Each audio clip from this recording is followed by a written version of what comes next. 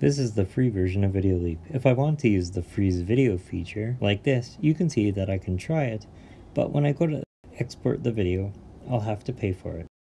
After I tap on export, this is what I see.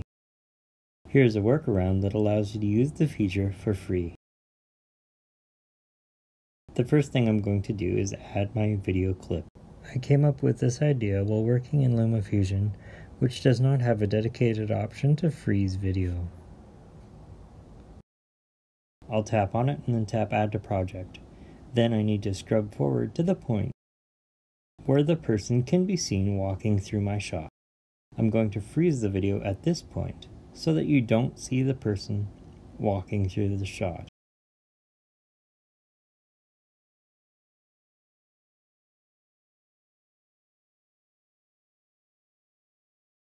When I arrive at that exact point, I'll scrub back a bit to just before it starts to happen, then I'll select the clip and tap the split icon. Then I'll scrub ahead to where the person disappears from the screen, select the clip once more, and then tap the split icon a second time. The next thing I need to do is scrub back to just before the person appears on screen again and take a screenshot using my iPhone.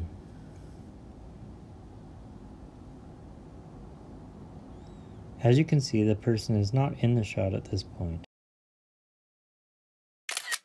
And now I'll edit the screenshot by pulling up the screenshot editor.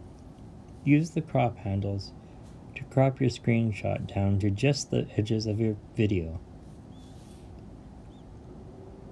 Essentially, I'm making a still image of this one point in time. When you're done, tap done and then tap save to photos.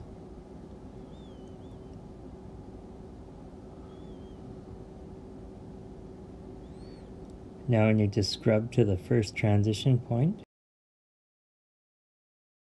I'm going to add the picture in a layer above the video.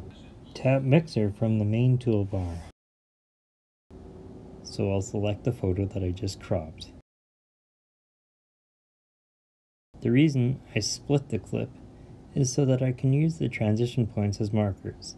As you can see, this photo needs to be longer. Let me show you what happens when your photo is too short.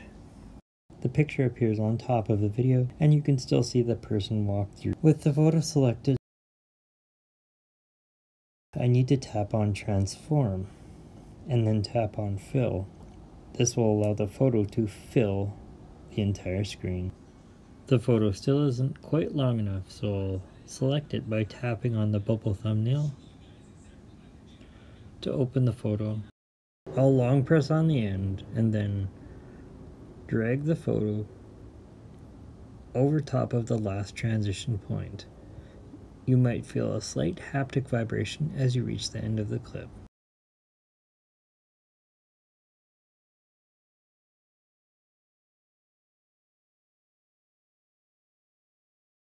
Now I'll scrub back a bit and play it once more. The video freezes. You're seeing the photo, and you don't see the person walk through the shot. Next, export your video to make the changes permanent.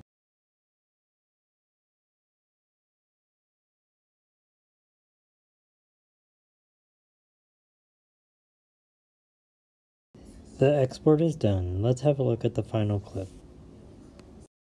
The video starts normally keep watching. It freezes right here. This is where the person walks through the shot. They've now disappeared off screen and the clip continues. I love Mike's videos. Please subscribe to his channel for more tips, tricks, and tutorials.